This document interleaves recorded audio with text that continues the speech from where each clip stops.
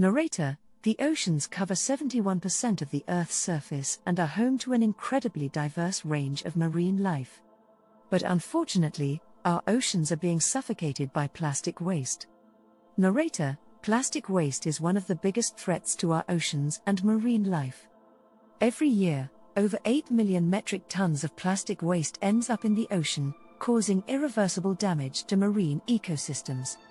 Narrator One of the most visible impacts of plastic waste is the buildup of garbage patches, which are areas of the ocean where plastic waste accumulates due to ocean currents. Marine biologist Plastic waste is a serious problem for marine life.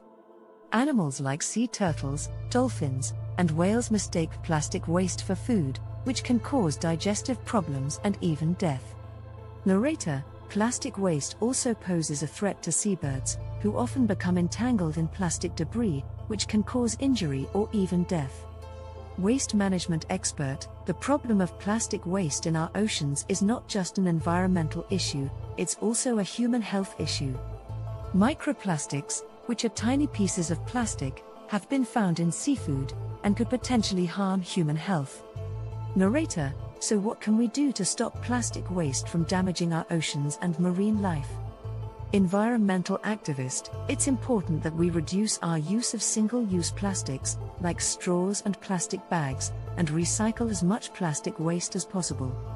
We also need to hold corporations accountable for their plastic waste and demand that they reduce their plastic production. Narrator Our oceans and marine life are precious resources that we must protect. By taking action to reduce our plastic waste, we can help ensure a healthy future for our planet and all its inhabitants.